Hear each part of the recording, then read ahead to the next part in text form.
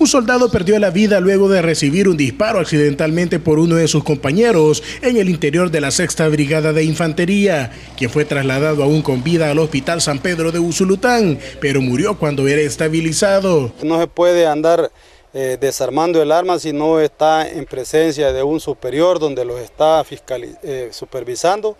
Sin embargo, este, este, por la confianza que él tenía y que no era un soldado eh, recluta, ¿verdad? Eh, eh, lastimosamente la manipulación, un descuido, desarmó el arma, pero no se fijó que tenía un cartucho en recámara. O sea, él le sacó el cartucho, en la escena del delito se veía, sacó el cartucho, quedó en el piso, pero no le había sacado el cargador al momento que la despejó el arma. Entonces automáticamente él le sacó, volvió a cargar el arma. Ese fue el descuido que él cometió.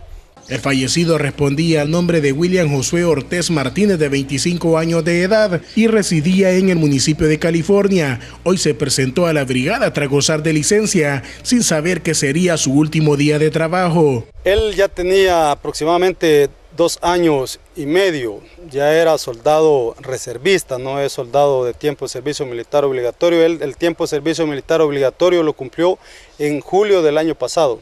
A la investigación de este caso se sumaron la PNC y Fiscalía para determinar cómo sucedieron los hechos. Mientras tanto, el soldado Astul Coreas, responsable de la mala manipulación del arma y que puso en luto a la Fuerza Armada, fue privado de libertad para afrontar un proceso legal en su contra.